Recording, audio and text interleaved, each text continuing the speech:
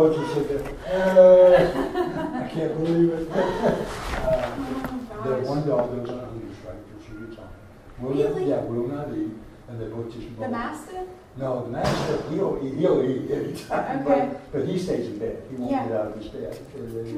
Hey, Hey, Miss Katie, How are you? I'm the best there is, how about you? Good. Good to see you. Good to see you guys. The, uh, but the little Labrador, she just, just can't stand it. uh, Just sitting right. Yeah. And anytime I move, she wants to, you know, Yeah. be wherever I am, but I don't know if she's afraid of it. Yeah. Afraid of, so long.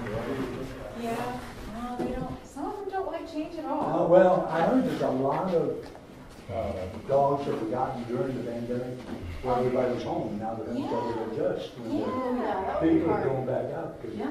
this one came to us during the pandemic, Yeah. so the show's never been gone until recently. Mhm. It's freaking around. Well, um, in the spring, when the weather was nice, I would, I would walk down your street, Oh, did you? uh, during lunch. Well, I don't know what you're up to, you know, I didn't know, I didn't wanna bother. No, I'm usually, you know, hanging out. I've been in the backyard a lot more than the front yard. Normally I'm on the front porch, but I've been in the backyard more and, Yeah, and, um, been working on my, my mother-in-law wanted her backyard done, so I spent about three weeks, eight hours a day, uh, you know, carving that thing out. Yeah. But now with the rain, I know that I had no weight at all. I was like, man, for months. I, in fact, I was having to eat heavy trying to keep weight up. And all of a sudden, since the rain, now I get on the scale each morning and I'm like, oh no, I gained another pound or so. So I see it was activity. I, must, I must have been busier than I Yeah. thought I was yeah, during that time. So, so I've got to, today I went out between raindrops, maybe three or four miles. you know, but, uh, yeah. Katie, how's the style guides going? The style guides are done, the CBD survey is done. I'm Wow. just still inputting all the data into the database, but it's done. Hey, how are you? That's good. Yeah. Done a lot. Been busy, busy, but it's been good. Hmm, I'm really short. Uh-huh.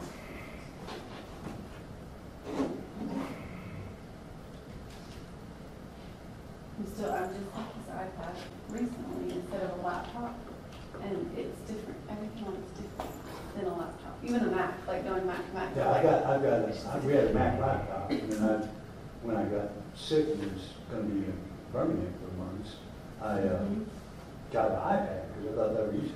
And I thought it'd be, I was just like, I thought it'd be the same, but so, I'm like, oh, I don't know how to move. Completely different Yeah, so now, technology, yeah. now I've figured out how to manipulate both of them. Oh, yeah, we're. Hey Deborah, how are you? Okay. Thanks for doing the notes last week.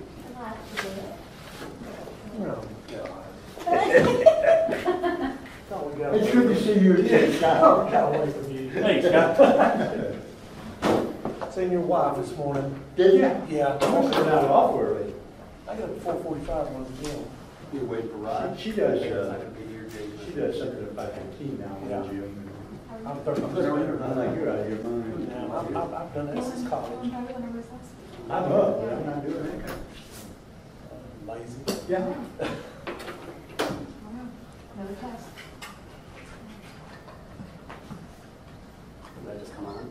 So, Uh, gotten worse suddenly, mhm. been battling it for a year, okay. yeah. It's, it goes in waves, man.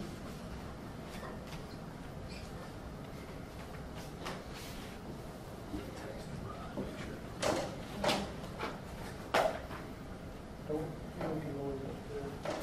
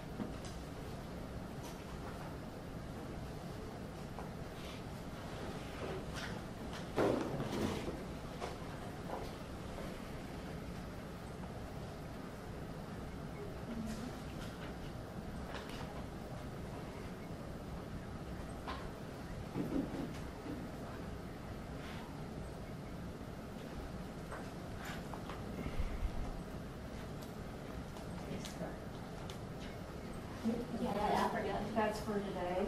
Uh-huh.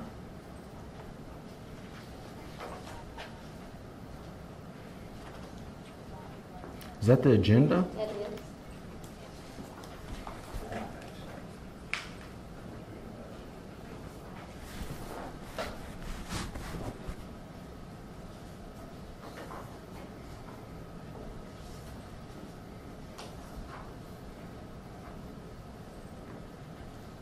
Do you have another copy of the agenda? Did you send us the agenda digitally? Brian? Yeah. Is it different front there right now? Thank you. Yes, I have one.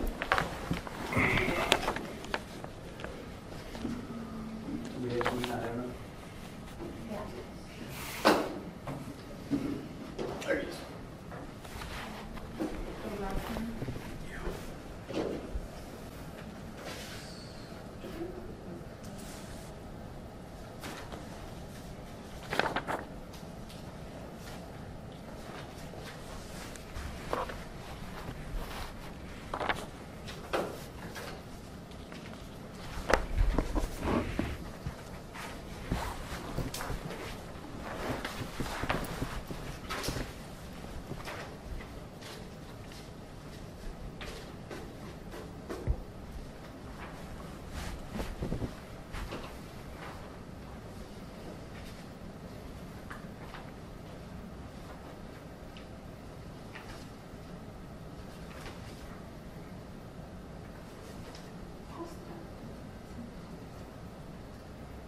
Oh, yeah, Doug. Um, I think so. Yeah, his, no, his, um, his kids were, were visiting, uh, actually from overseas, so he was spending time with his. Terry said he sees you every, uh, Who does? Terry, my husband, Terry's got the, Oh, which one is it? got there now. We live, you know, we live up the street. He's right now. Does he speak to me? I mean, I think he does. I'm blank right now, because I, you know, at five o'clock in the morning, I Ain't he? They were on the orientation, but I have not heard from them. Is it, are y'all on Facebook? We are. You know where we live across the street? Well, no, but- Is that your daughter that moved in here? Well, we It live is fine. Reds. Yeah, they live next door. They live Yeah, that's- door. Yeah, okay. I I introduced. No, I don't see him at the gym, I see him walking the dog when I get Oh, home from the okay, gym. okay. Yeah, I see him every day running from the, the church. Yeah, Okay. he goes about five. That's fine, okay, where, where's he go? He goes a while. Silver Oh. That's what I see. I'm getting all this stuff to do with it. And I carry. Yeah. And you had a son or something with me. He lived on the house on the corner. That was it. He sold, they Okay. sold, yeah, they're, um, I bet he was, uh, All right, we're missing Yeah. Doug, Kayla, and Jay. No, Kayla and Jay will not be here. I'm not sure where Doug is. Doug will not be here until the church. Okay. Oh, he's got that, uh, reci- he's got a recital or something. Oh, yeah, he was a choir, I. Okay, all right. Everyone get a chance to look at the minutes for June fifteenth, twenty twenty-one? Is there a motion? Motion. Second. All in favor? Aye. All right, financial report. Uh, I got the financial report in, um, for the first time this year, um, Ryan decided to go on a cruise and write a six check. And we're calling it for preservation, but we leave out this, it's for preservation for six thousand dollars. Um, we will be reimbursed on that correctly. So our current balance is one thousand three hundred and three dollars and ninety-seven cents. Okay. Thank you, Scott. All right, moving on to design committee report. Who's, Okay, so, um, let's see, we had three applications. I'll start with, um, one was, let's see, at, wait, this isn't their address, oh, the property address is one twenty-eight East Tennessee Street. This is the old, um, or do you want me to go in order? Doesn't matter. Okay.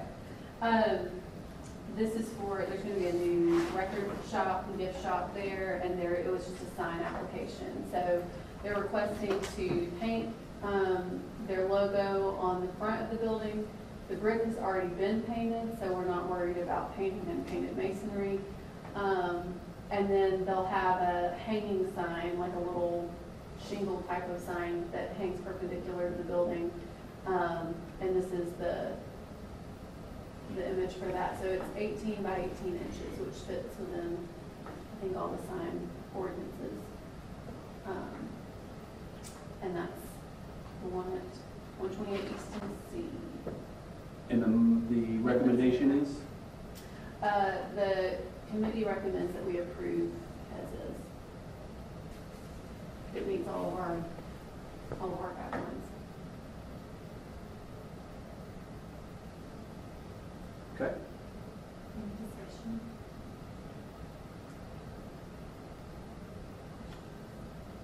Motion to approve? Second. All in favor? Okay. All right, the second one is um, 706 Riverview Drive. Homeowners are wanting to change the front door and side light, which has the glass blocks in it, to a double door with a single pane in each door. Um, The committee discussed it. They, they submitted a really thorough application, which you'll see um, with images. They also talked to the previous owner, and she's the one who actually put the glass block in. So those are not original to the house. Um, I think it was probably a solid glass before that. Um, they said there's some wood rot on the existing door. Um, and they, and they will not have to cut into the brick at all. They'll just be replacing that entire, you know, door side light kit with a double door kit without changing the opening any, or expand, you know, making it any bigger. Um, Whose house is this? It's the Baxters, Andy and Sarah Baxter, um, in the Riverview District.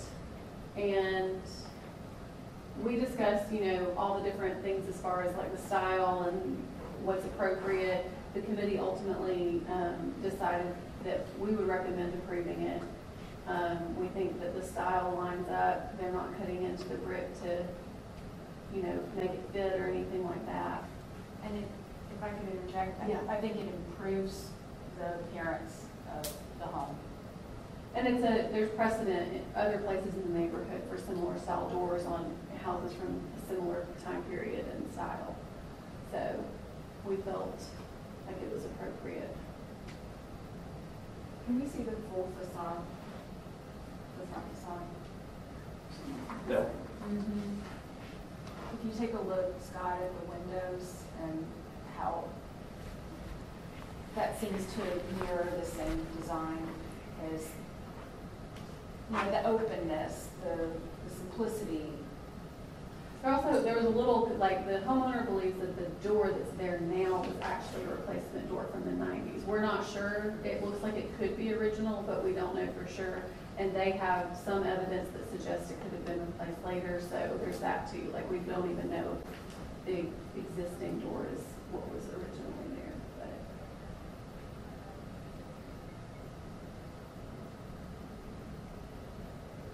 I'll make a motion to approve it. A second. All in favor? Okay. And the third one, this one is a bit more significant. This is gonna be on that lot where, um, Potts and Young burned down downtown, Yes. over behind Hank Sherritt's building. Uh, so this is gonna be new construction. It's, um, Create Architects building. Um, what do they want me to do with the job? Anyways, you can look at it, but it's, it's a dark brick, it's not painted brick, the brick itself is dark. Um, they're talking about leaving the sides, that, that's actually open, but it kind of makes it, I feel like you could describe this better than I. I'm just like saying words. Um, well, I, don't know about that, but I'll, I'll make an attempt. So, um, if you look at the, the left side of the front facade, you see that the brick is kind of overlapping in a way that it's a screen. So the actual building is not touching the adjacent building, which, which I think was, um, was a good idea in, in, um, they didn't have to do this, but I think that it was a courteous thing to do. The adjacent building has windows on that face. So if they had built their building, if they're building their building right adjacent to, they would be covering up their neighbor's windows, so to speak. So that this- screen, This part right here is facing the SunTrust building. right? Yes, right, yes. if, go down to the floor plan, please, Brian. So you see there that there is, on the left side, you'll see that there's that void there where they have their HVAC units and whatever, whatever ugly there is, you know, we're gonna cover that up with that brick screen. And then the people that have the windows on to the adjacent side will be able to actually escape in, in the event of a fire or what have you. Um, which is a lot of times what windows are for. Um, and then you'll see that the back, they've, it's the back of the property, they have a big courtyard back there. Um, and the, the existing wall, the existing buildings that are there at the very top and then to the left, you'll see that they're just using that as, as part of their courtyard. Um, Parking, they've only allowed two parking spaces. They explained that they park in the parking garage. Um, And that those parking spaces will be for their folks that are working there, such as uh, the receptionist or anyone that's drafting, what have you. That they plan to have all their other people park in the parking garage. Um, And that, and they'll get on alley access. What else am I missing? I know, I was gonna- just gonna add that I think they did a nice job of, um, you know, it's the appropriate size and scale and setback for the historic district and for downtown. Um, it doesn't attempt to look like a historic replica, which is, you know, not considered best practice, but it does borrow some things from some of the historic styles downtown, such as the brick corbelling around the windows and some of that, so. The I tall thought- narrow yeah. windows. I thought all of that was, um, nicely done. And that's, yeah, the. I think for a new build in the downtown historic district, this is an excellent design. And I think this is what we, you know, we could, um, Their, um, their logo is on Alabama limestone. I don't know if you noticed that on the note Mhm. there, um, which I can appreciate. Mhm. Yeah, I like the stone and the brick too. Those are both traditional building materials, which is appropriate for the area.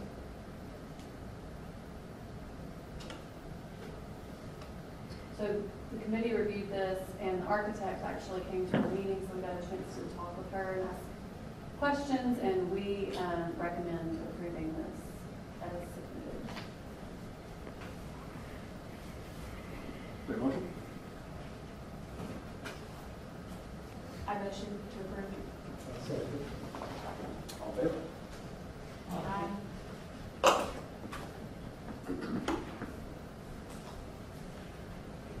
Right, that is everything from the design uh, committee report. The next design review committee meeting will be uh, second Tuesday in August, right here at 8:30. So that's August 10th at 8:30, and we will be reviewing all of the applications that are sent our way for the month of August.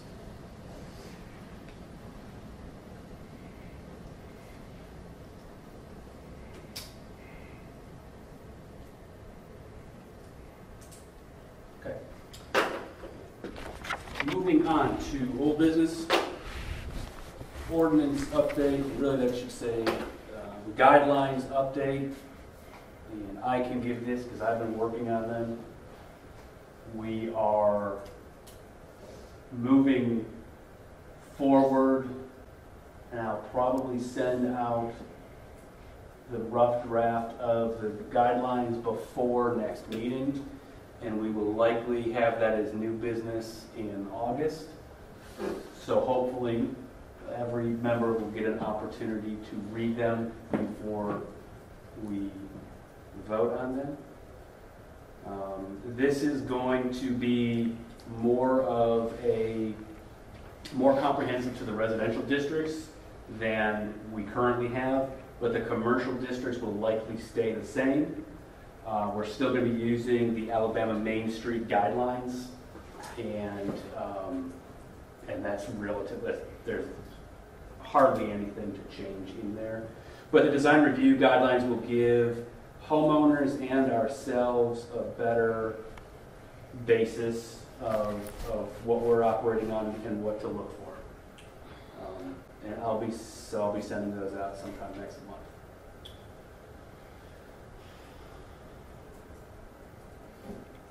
Any questions about design guidelines?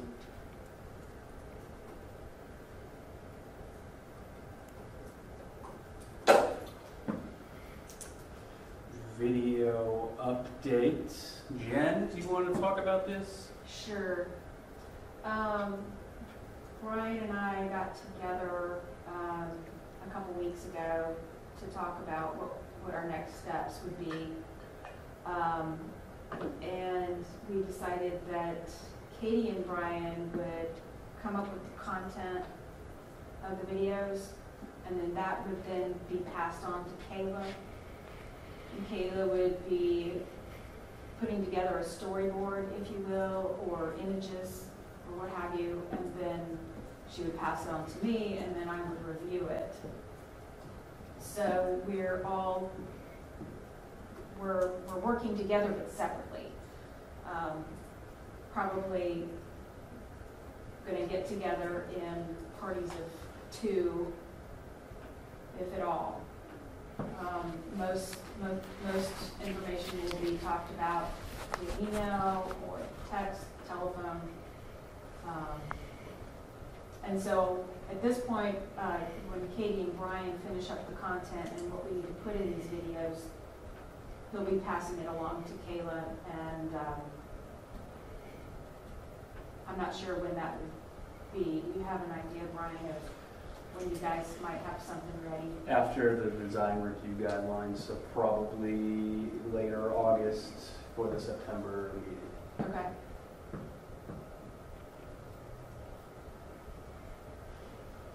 Okay.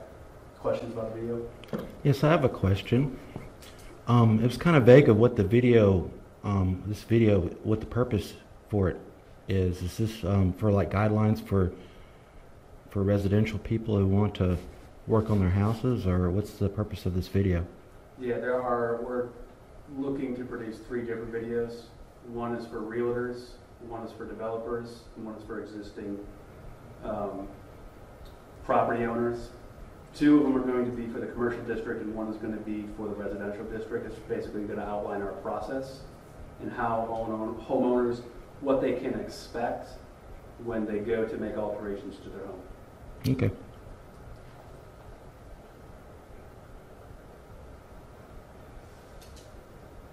Other questions? CBD survey, It is finished. Um, I'm still, well, so I say it's finished and I'm still finalizing the database details, but that's because I want to send it all to the state historical commission.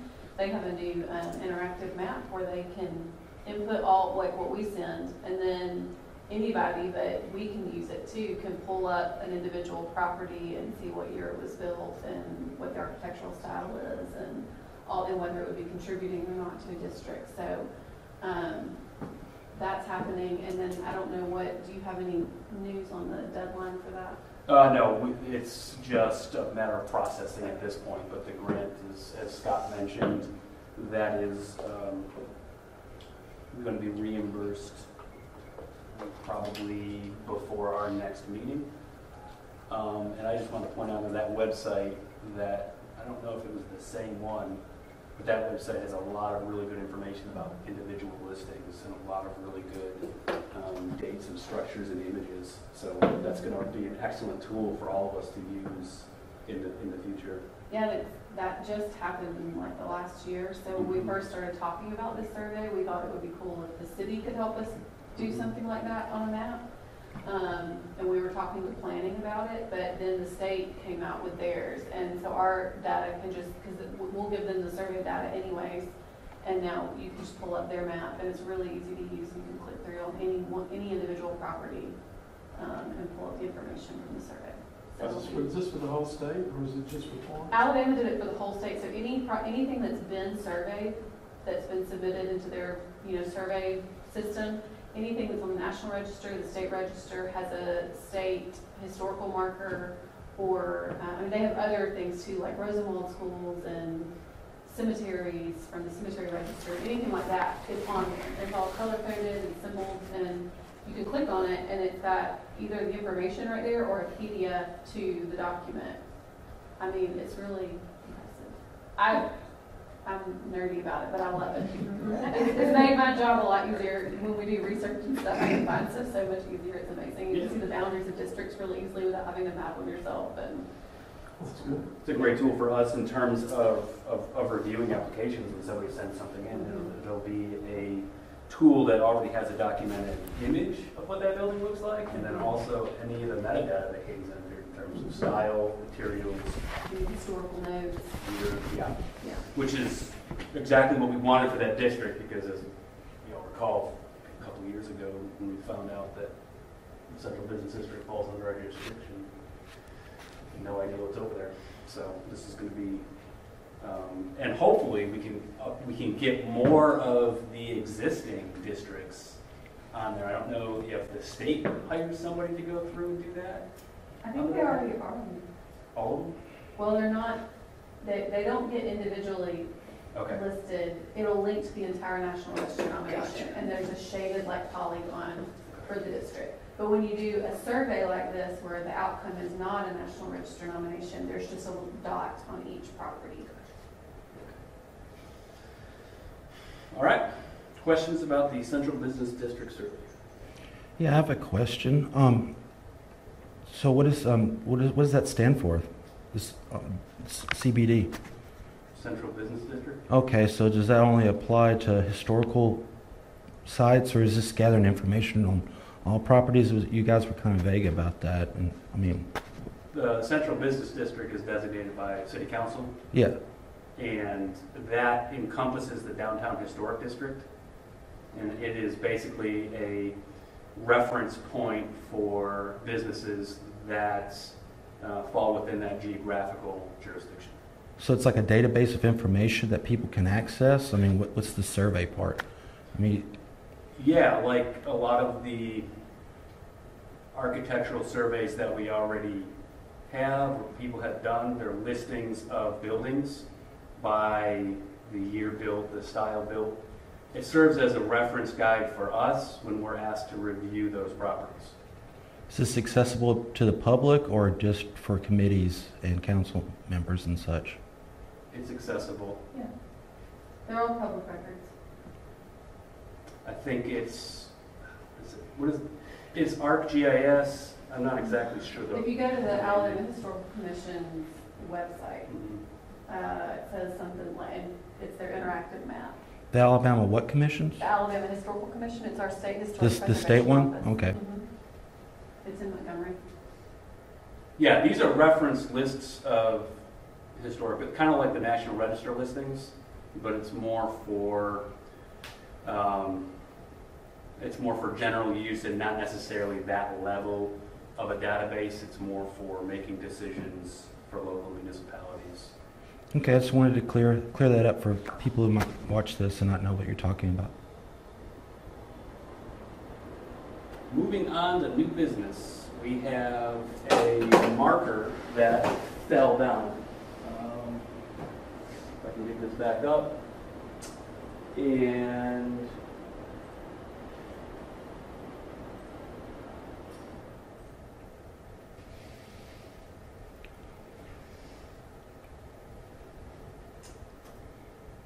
anyone know where the Wilson Cemetery is? Mayor Betterton emailed and said that this marker fell down. It is the Wilson Family Cemetery in the Plantation Springs subdivision. That's one on the golf course. I've seen that. That's the, yeah, what's that? Okay.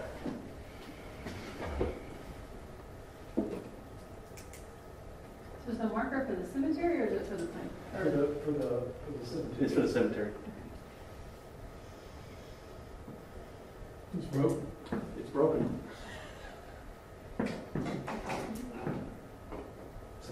Second, third this year?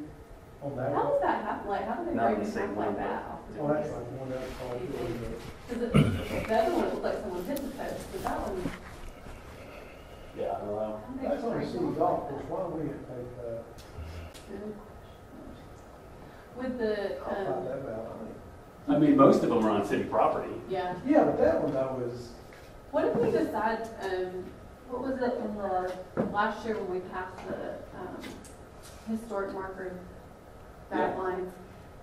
Were, were the existing ones kind of grandfathered in? I know we had passed a thing that future ones Yeah. would be the responsibility, maintenance would be the responsibility of the party. Correct.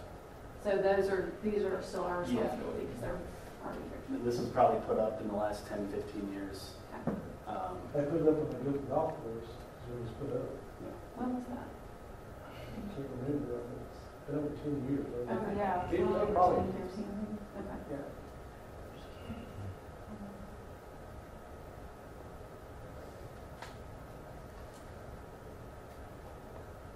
So what, how, would I, would we have to pay to replace the whole thing, or can it be repaired?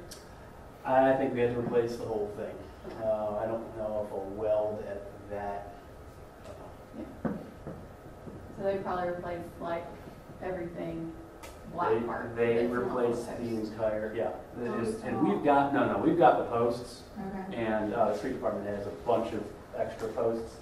They would just send the marker and um, put it up. And the street department has been very excellent about supporting and helping us out in terms of putting these up. Is it both sides or one side? It is, It's like hot and like it's both sides. It's on both sides of the road. But I mean, like, is it different text, do you know? That is, uh, I, I don't know. There's just somewhat Well, significant. surely it's only one side. It doesn't say on the bottom, continued on the other side, so it's probably not. It's something you have to drive because of what you're reading. Which I don't know. What, how does this, like, do we have to replace it? Part of this, uh, What's our, I kind of agree with this one because part of the thing when they broke the farm and this man was given to him was this marker that we put up in the cemetery. Hmm. Oh, that was part of it. It was part of it. I said, I could be wrong. Was that a deal, a, a thing they did with the city though? Mhm. So I wonder if we could ask council for the money to replace it. That's what I'm saying. I, I remember this battle was all fought, because Mhm. I say that I can't remember why. Frank was just right. So, so the options before us are to vote to spend our appropriation to replace. I, I personally, I've talked to Andy about this person, just postpone this for the next meeting, whatever. Okay. Because I, I remember this meeting, because I was pissed because they put me falling for golf. I mean, I, Mhm. so I was listening to all this, I remember, I remember this meeting. And how much is one of these on? Twenty, about twenty-six hundred, twenty-seven hundred dollars? That's- And, and right now, since, you know, Brian on that cruise, we only got thirteen hundred bucks. And is that what they were last year? Or is that what they are right now? That's Because They are now. costs, that's what it is right now? Mhm. Okay. This metal is gone I up know. quite a bit. I haven't heard that they've gone up. I'm ordering one right now. I'm just saying. Okay. I think when, when we ordered one a few years ago, it was twenty-six, and then now it's about twenty-seven. Do you think, do you think the agreement was between the city and the golf course? That's what I want to find out. Okay. Andy and I tried to So Scott, you're saying that this was not a Florence Historical Board marker? I don't think it was, I think that it's part of the agreement when they was, the land was given to them. Well, I'm sure the historical board approved it. The, the, well, I'm saying the seal was on it, so I'm sure they either wrote it or approved it, but I just think if it was a deal struck with the golf course in the city, then maybe we ask them to cover it.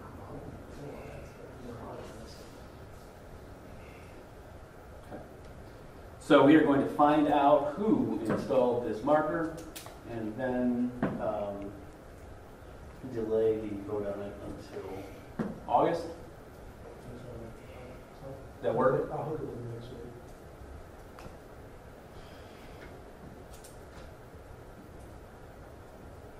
How did we become aware of this?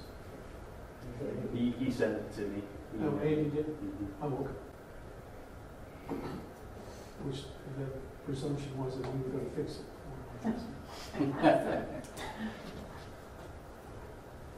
Get us some idea. All right, any questions or comments about the Wilson Family Cemetery? Yeah, I have a question about that marker. Um, it was mentioned, uh, the wording on the marker was mentioned. I was wondering, does this commission have any um, sway over changing the wording or, um, for old markers or any existing markers that go up around the city, or this one in particular? If there are errors, any historical errors in the text, we have in the past gone and replaced to correct those errors.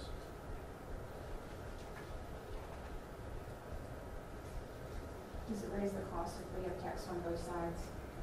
No, because you can either do duplicate text or new text. It raised the cost if you do t- different text on both sides. Okay. It's more expensive. I think Are these from, these are ordered from Siegel?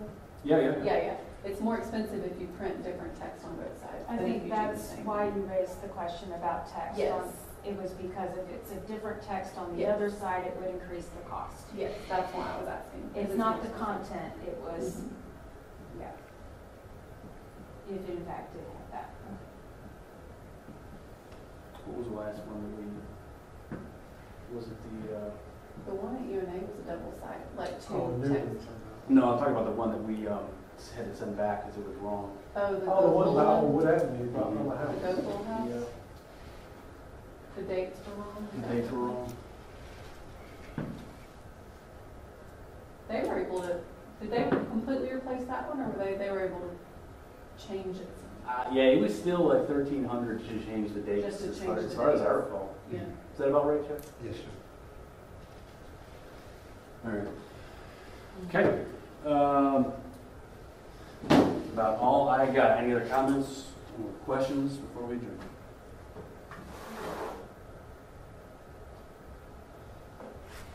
Next meeting is Tuesday, August seventeenth, twenty twenty-one, at five P M right here.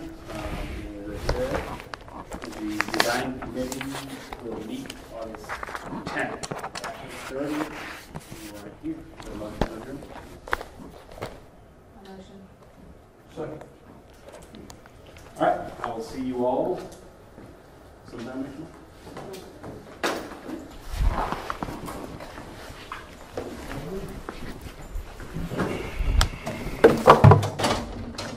That's so many old albums.